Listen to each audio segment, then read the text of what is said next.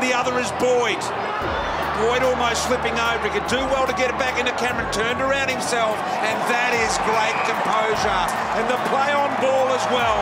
Well, Richo, this is the number one draft pick, and that is a great little look at what he's capable of. Turned Harry Taylor inside out. Tempo of the game beautifully here now, the Giants. And Patton in a one-on-one. Boyd, front spot! Oh, well, that was a monster. That wasn't meant for him. Got there, but dumps it.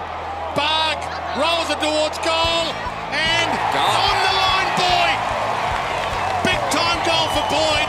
He's first in AFL footy. That's not what uh, defenders want.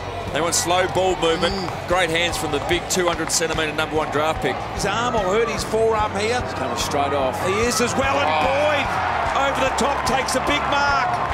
Now he needs to be reasonably quick with this. He did Boyd to get it back within seven points. He drills the goal. There's still time. The clock will stop at 2.46. Thought about the one-two. Goes himself, and this looks good. So Boyd gets his chance now. Quarter time, Richmond led eight goals to one. This is for the lead for the Giants. And he slots it. Good reward. Just hanging in there at the moment. Long bomb. Over the head. Boyd runs back onto it. Instant reply. Positive signs for the Giants early with that. So Shiel to Kelly, and then down in the Boyd direction. Now he might have been taken high there by Howe. He got right over the top of him. Good handball. Releases Palmer for the first goal of the game. Nice start for GWS.